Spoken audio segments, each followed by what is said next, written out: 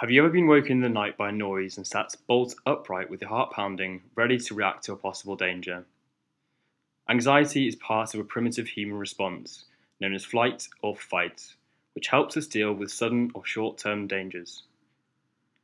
Early humans often met life threatening dangers. Facing a saber toothed tiger, it was vital to our survival to be able to run or stay and fight. The response is triggered as soon as the brain thinks there's a threat whether it's real or not. It's a normal response that keeps us safe when we are in danger and can improve our performance. Hormones called adrenaline and cortisol are released into the bloodstream, pumping blood and oxygen through our muscles, preparing us for running or fighting. Our bodily systems, which are not essential during a life or death situation, such as digestion, are less active. Someone experiencing the flight or fight response may also breathe faster and sweat more.